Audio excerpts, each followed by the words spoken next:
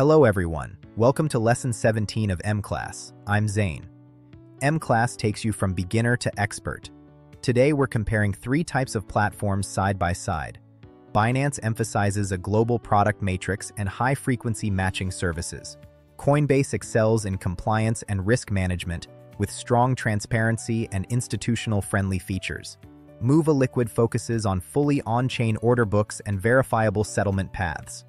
We'll use three lenses, positioning, compliance, and transparency, to clarify their capability boundaries and target users, helping you choose what best fits your strategy across performance, service, and verifiability.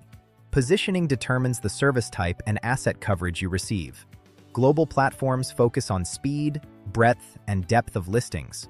Compliance-oriented platforms focus on audit processes and institutional integration. On-chain platforms focus on openness, composability, and verifiability. Compliance sets the entry threshold and long-term operational foundation, affecting custody and auditing. Transparency determines whether you can independently verify reserves, risk controls, and transaction flows. Together, these three dimensions outline each platform's value proposition and ideal use cases. Break it down like this. Positioning answers.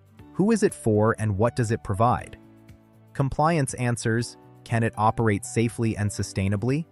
Transparency answers. Can outsiders independently verify it? When these three align and reinforce each other, a platform's strengths become clearly felt, whether it's superior matching and service, stronger regulatory trust, or higher on-chain verifiability. For business positioning, Binance focuses on global depth and product breadth. Coinbase emphasizes institutional access, custody, and compliance services. Mova Liquid focuses on a fully on-chain order book and verifiable settlement. For compliance frameworks, look at jurisdiction coverage, KYC AML processes, custodial segregation, and whether independent audits or reserve attestations exist.